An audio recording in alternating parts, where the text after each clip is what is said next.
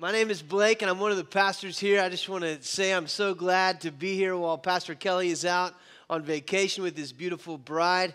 And man, what an honor to serve and love alongside of that guy and to see all that uh, God's doing here at River Pointe is like such a blessing to be a small part of. And this week I, am fired up because I get to go and love on all of the students uh, during the Student Ministry Week of Camp at Beach Week. And so I'm fired up to do that. Um, it's going to be Suffering for the Lord in Destin, Florida. so it's going to be hard. You guys need to pray for me. Uh, my, my whole family's going with me, and so we get to hang out with Lisa and my wife and my kids. I'll be a part of it. So I'm super fired up to be a, a, part of that. So I'd like to welcome everybody online. Thank you so much for joining us. And I'd also like to welcome the Missouri City campus. Thank you for being a part of uh, all that's happening there in Missouri City. I encourage you to go and love on Scott. That dude's amazing. He's a great pastor. So uh, take care of him, okay? All right, so today it's an exciting day. We're starting a new series, and it's called Unstuck.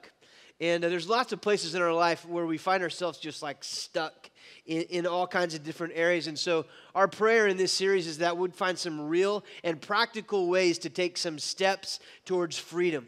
There's lots of, of areas that we get stuck, like our marriage and relationships, we'll find ourselves stuck. And so, here's what's kind of cool about this series is that we're going to provide resources um, each week uh, to be able to help you with what we're talking about that weekend. So, um, like the weekend that we talk about marriages and how we sometimes just uh, don't know how to move forward, and you find yourself going, Man, I, I, I don't know if I even like you anymore. Like, how do you restore that? And so we're going to have some, some counseling and some resources for you that weekend. And then th- there's one weekend we're going to talk about finances and how we, uh, m- maybe you're looking at a pile of debt and like, I don't have any idea how, how to get out of this uh, mess that I've made of my finances. And so we're going to help you get unstuck by, by providing some steps towards financial freedom.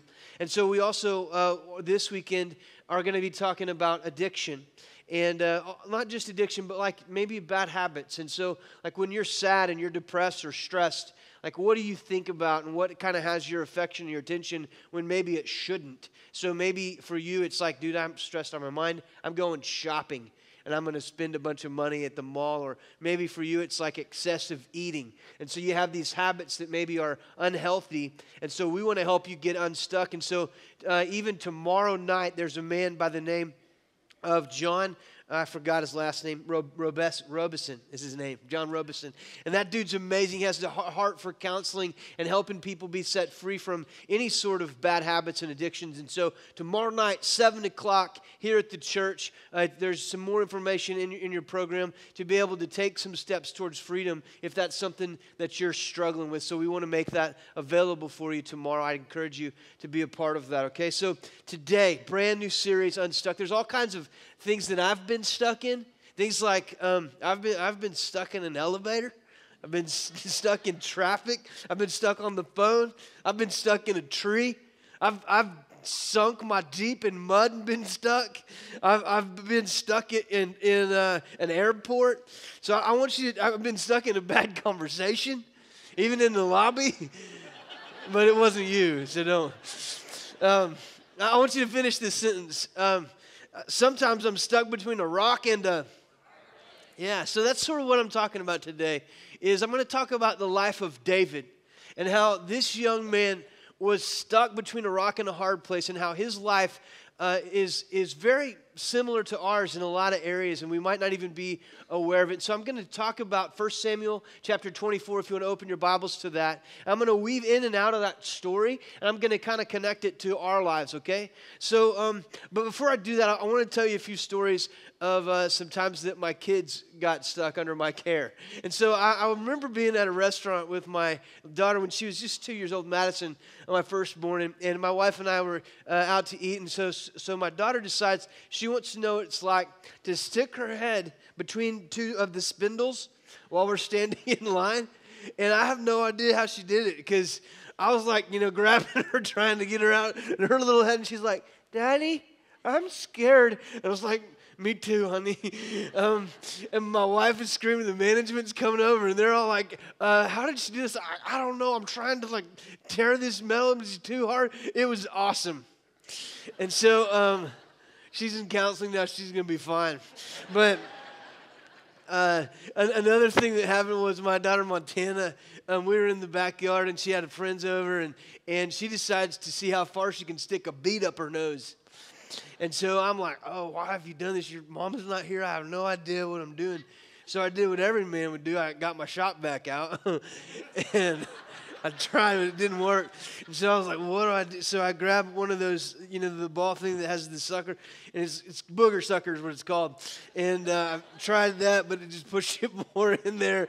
I'm like, wow, I have no idea. So I had a moment of genius, and I decided I'm going to grab her face and I'm gonna put my mouth over her nose and I'm gonna suck it out.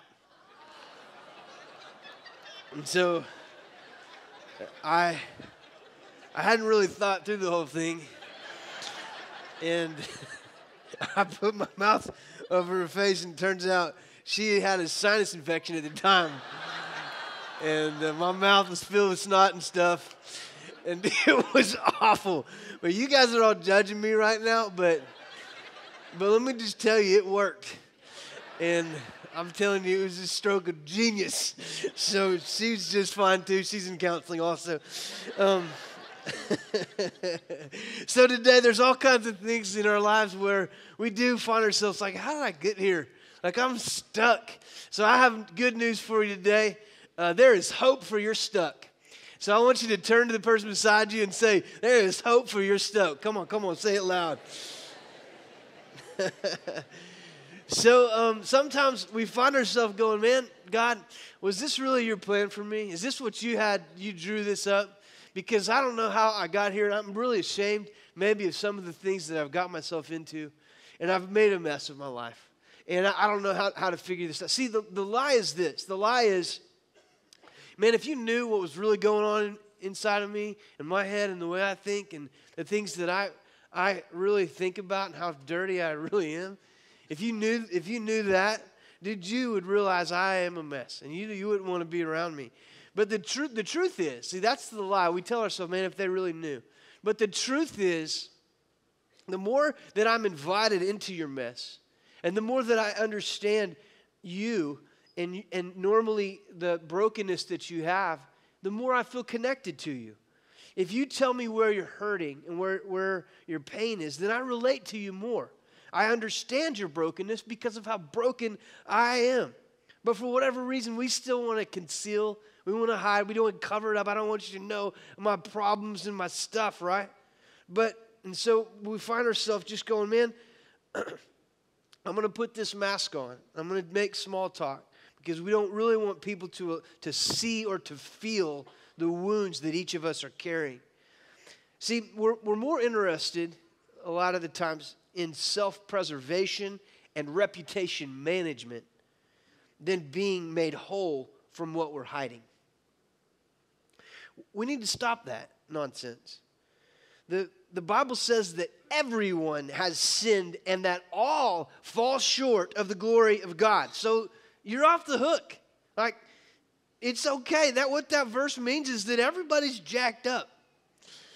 And so you can turn to the person beside you and you can just say this say, I heard the truth about you. You've got issues. Go ahead, that's okay. You can say that. Some of you like, yeah, what's up? You got issues. the last service, um, I saw this one couple say that to each other, and then they're like, I'm just kidding, they kissed. um, I, I would like to just tell you that, man, there's only one person that's perfect in all of history, and it's not you. And so we need to stop acting like we have our stuff together. I'd like to tell you this beautiful account of a young man by the name of David who made a, a, bunch of bad decisions in his life. But at the same time, he was also called a man after God's own heart. And so it, it's kind of a contradiction, but really all of us are a contradiction. All of us have sin in our life, but we also love God right? Every one of us. So let's just be done with the whole hypocrite thing. You're all a hypocrite, all right? We all, we all want to love God with all of our heart, but we have this sinful nature that causes us to sin. You know what sinners do? They sin. And so I just want to just tell you this story about David and how, as a young man, he had this enormous faith and he loved God with this purity. And he found himself as a shepherd in, in a field protecting these sheep. And on two different occasions, a lion came into his pen and a bear came into his pen, and he killed them with his bare hands because of faith in God, God protected him. And then one day he goes to deliver some, some food to his brothers because they're on the field bat- battling and fighting the Philistines. And as he gets there, there's this nine foot tall man, a huge man. Like he's so tall that when he puts his hand up, it's above the glass at the basketball goal. Okay? He's huge. and so uh, as he's walking up, he hears this man taunting his brothers, the Israelites, the army. And, and then he taunts the living God. And David's like, he's, he's 13. He's like, what did he say?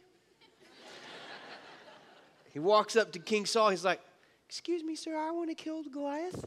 and Goliath, it, Saul's like, uh, you're the little boy. That's not, no. And his brothers are yelling at him. They're all mocking him. And they put armor on him, and it's too heavy. And he's like, I can't wear this. It's too heavy. I can't carry your sword. And so he, he just like, um, you know what? I'm good. I brought some rocks with me. And uh, he takes off into the field, hits him in the forehead. This big man drops to the ground. He takes the man's sword he could barely pick up and cuts his head off, holds his head up before the Israelite army. He's like, hey guys, he's dead. right? This little boy runs out to the field. The Philistines then retreat. The Israelites win the battle. And now, all of a sudden, this kid is like brought to national celebrity. All of a sudden, he's like famous in all of the land. And King Saul's like, you know what? I'm going to put you as the head of the army. He's invited into King Saul's family. And now his son, Jonathan, Saul's son, becomes David's best friend.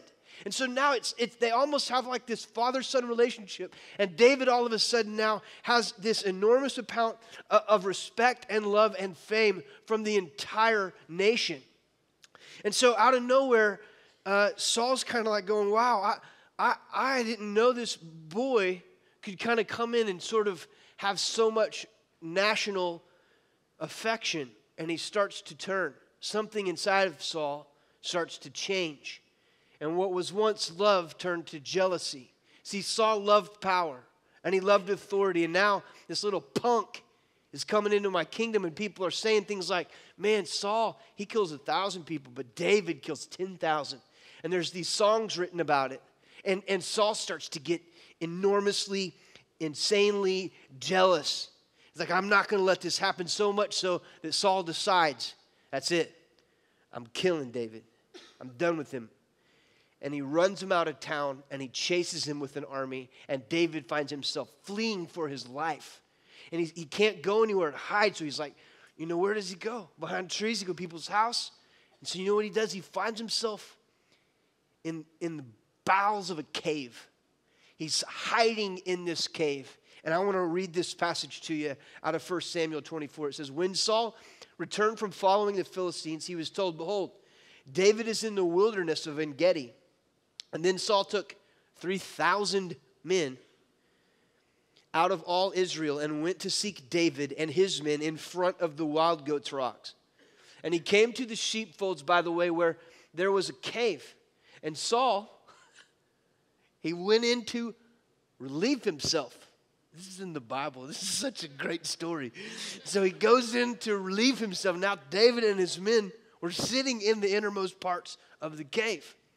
And the men of David said to him, Here's the day of which the Lord said to you, Behold, I will give you your enemy into your hand, and you shall do to him as you, shall seem good to you. And then David arose and stealthily cut off a corner of Saul's robe. That is cool. Dude, did you know that's in the Bible? I've been in a cave, and, and it, it's quiet, real quiet. You can hear everything, a little drip you can bats breathing.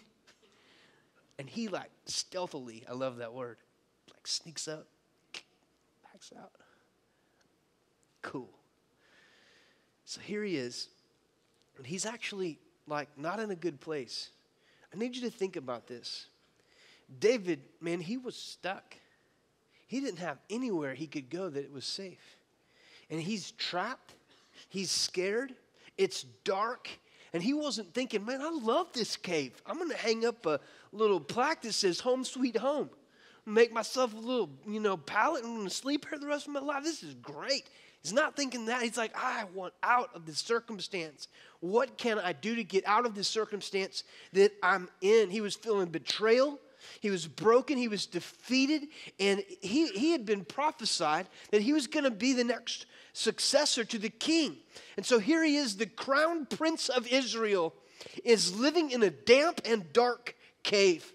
He's dirty, he's filthy, he wants to shower. And here's David, he's going, Man, I'm at the lowest point of my life. He's trying to figure out how did I get here? What happened? Just the other day, I was sitting at the king's courts and I was at a great bed and, and things were good. Like Jonathan and I were hanging out. We were chasing bunnies with our bow and arrow. Like everything was good.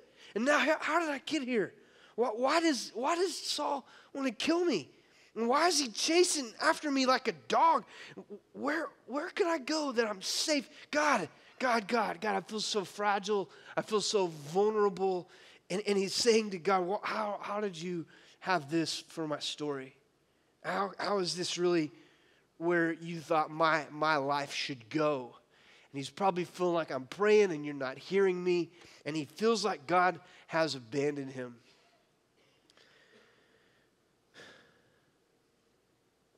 Can I just preach for a second? Sometimes, when God is wanting to place a comma, we choose to think that He's putting a period. So, sometimes, when God is placing a comma, we choose to think that He's putting a period. You, you might think that that's where you're at right now, and there's no hope for you. And, and you're like at the end of your rope and maybe he left you for another woman. And maybe you got the diagnosis and it's your worst nightmare. Maybe you just lost somebody and that was close to you and they're gone and you're like trying to pick up the pieces. Maybe you just lost your job and you're like, I don't have any idea how I'm going to make ends meet. And maybe for all of us have been in a season in our life when we're sitting in the back of that cave and we're sulking and we're crying and we're praying and we're done. We're sick and tired of trying to figure it out and we can't seem to make anything work. And maybe even you're at the very worst part of your life, just going, considering the, the very worst things. And, and you're just like, God, where are you? But see, you placed a period when you were supposed to be placing a comma. Because if God is for us, then who can stand against us?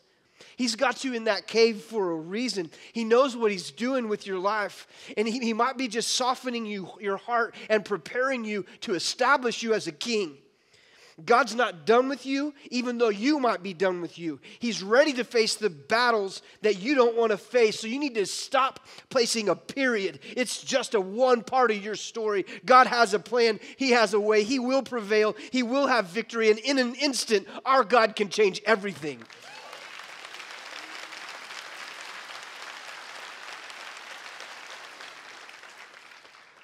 So out of nowhere, the unthinkable happens. And here he comes. The, the king walks in and he's going potty.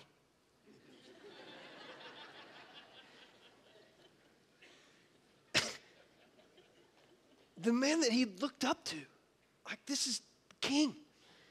It's Jonathan's dad. There he is. Just him and two of them. The, the man who had defamed him had destroyed his reputation. He had thrown spears at him. And now he's chasing him like a dog to kill him, hunting him down. What, what would you do? Right? This isn't like he's not in front of a bunch of lawyers in the court of law. This is his enemy. And he's in a back alley. And you know what his boys are saying in the cave? Like, oh, now. Let's roll him up and beat him down like a sucker, right? We're going to show him what's up right now, what he did to you, right? And he's like, no, no, no, no. He sneaks up, cuts a piece of his robe off, takes it back, and he's holding on to it. And there he is going, man. See, I think, I think, I think David realized the magnitude of that moment. He realized that I, I have a choice right now, and it could be one of the largest choices of my life. He knew that that decision could change the trajectory of his life. I like to say that he was sitting on if. If he chose to like go up to him and talk to him, it could have ended in a brawl, a fight, and not been good. If he had chose to kill him, what does that do? It'd have been satisfaction. It had been a quick little cheap thrill, right? Like, yeah, finally vindicated, right? If he took vengeance for himself. But what would that really do? Who wants to vote for this king who's just killed the other king? Right? It, it could have messed up his entire legacy, it could have destroyed him. And so there he is with this massive decision that he was going, I, I don't know what to do. We've all been there. It's so easy to sin. It's so quick, too, and it happens so fast. And we'll find ourselves like just being brought in and it's alluring. And you go, man, I, in a minute, everything, everything can be gone. I can make the wrong decision so easily. And, and in one moment and one bad decision, our lives can be changed forever. And we can be stuck with that decision. See, I think that really becoming unstuck is about making right decisions. Making a decision that will lead us towards health instead of destruction. So we, we, can, we can just justify it really easily by saying, man, it's just a small decision. It's no big deal. I just wanted to spend a little extra money because I was feeling stressed. And so now you're like, how did I get in this pile of debt? Or I just wanted to look at a little bit of porn. It's not hurting anyone else. But then it led to a full blown affair. Or maybe it was like I just thought I was in pain. It just cut the edge, so I took some prescription pills. But now you find yourself in, in detox. Like, how, how did I get here? Or, or maybe it's like the bad habits we talked about where you're like, man, I, I just, I'm addicted to my work. And I, I will just, when I'm a little stressed, I just uh, stay there forever and I don't ever stop. Or maybe for you, it's like you just overeat or shopping, like I said. And so for, for each of us, we have this desire to battle our flesh and our spirit every day. We either will choose to walk in the gratification of our flesh and have the instant satisfaction, or we choose to go, you know what, I'm going to choose to make the decision to walk in the power of the Spirit and not allow my flesh to get what it wants. And so that's where David's face. He's like, I, I have this temptation. And, and, that temptation is just like the same in the Garden of Eden. When Adam and Eve are faced with this apple, like, you'll know more, bro. Like, if you take this, it's going to feel good. You, you don't know as much as you, you're missing out. YOLO, right? You need to try this out, man. It's gonna feel, and it's just alluring. It just draws you in, and you always want more. You're never satisfied. That's that's what temptation does. It's what that's exactly what Tanya talked about last week. Is that we have this desire to want more, and temptations, man, they're a lie, and you can't trust your desires because they'll lead you down a place where you have the biggest regret, the biggest decision of your life, and and that's exactly where where David's at. He could have fulfilled the temporary craving to, to throw away his reputation.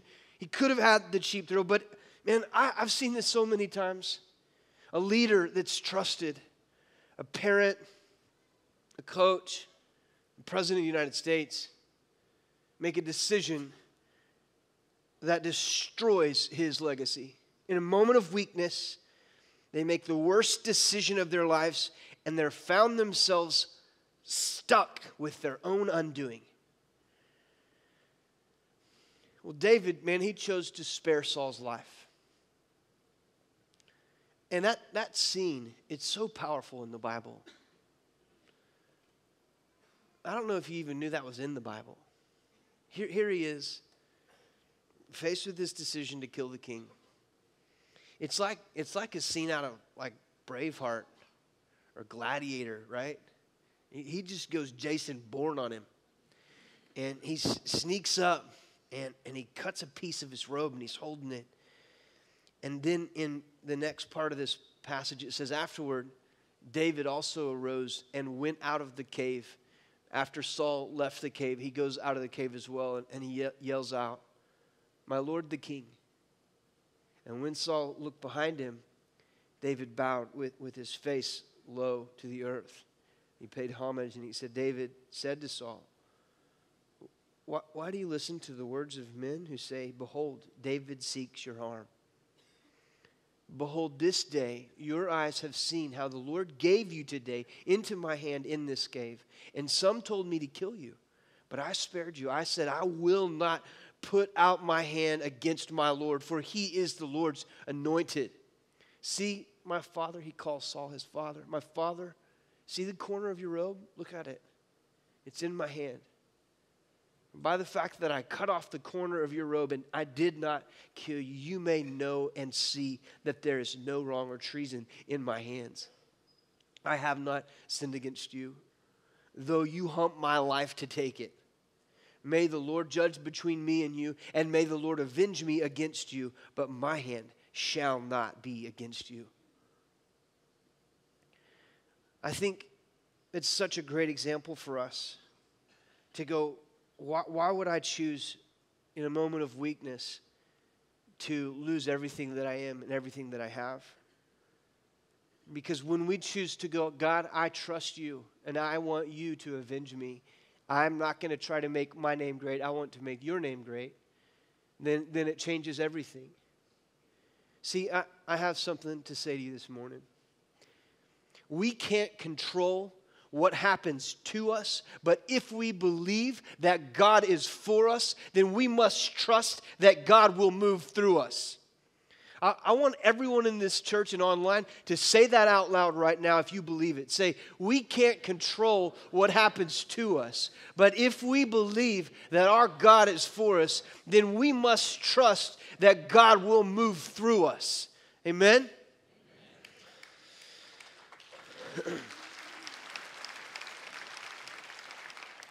Now, I, I'm aware when I say you can't control what happens to you, that some of you have had horrific things happen to you.